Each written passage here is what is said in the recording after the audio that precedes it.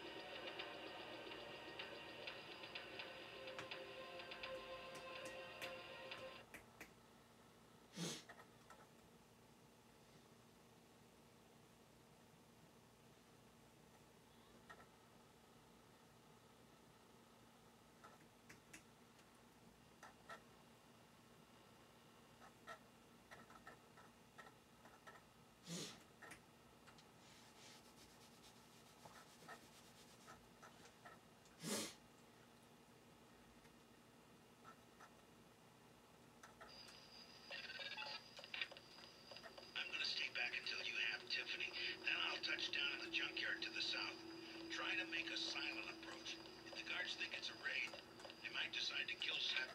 You're famous.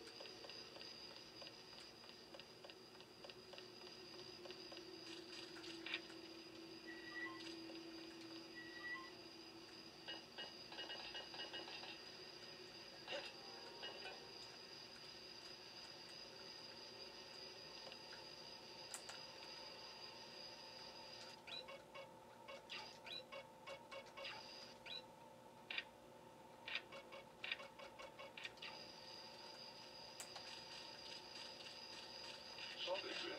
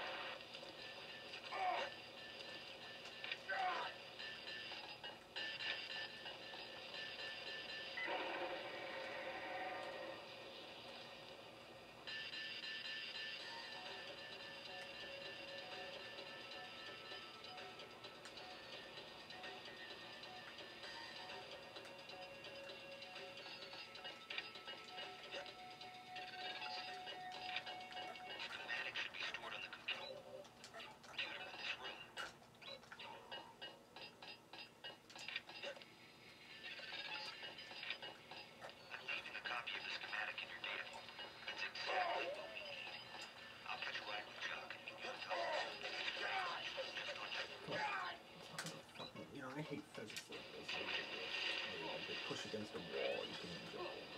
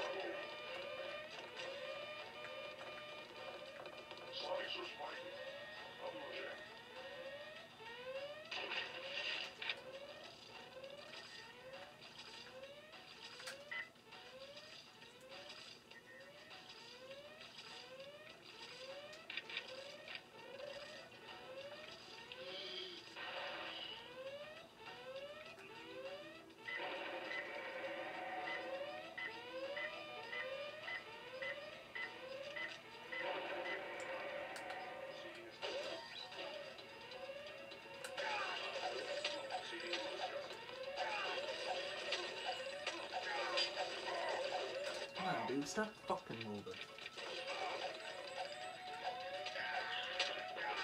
You know, every fucking time they do this, they always want to fucking move in fucking like circular patterns while they're sitting there shooting like always with 100%. There's no fucking way you can do it, so why the fuck is the AI allocated? I mean, no fucking game should be allowed to do the same thing and then different stuff at the same time, unless it makes sense. But if it's going to create an unbalanced scenario where the game becomes unplayable in some cases, then fucking forget it. You know, there's no fucking way in hell at this point people should not know that AI is that self-aware. That's just, you know, lazy programming if you want to really get into it. It's like, I mean, it's just so stupid to think that every FPS game has that fucking problem. You, I mean, really, if you let it.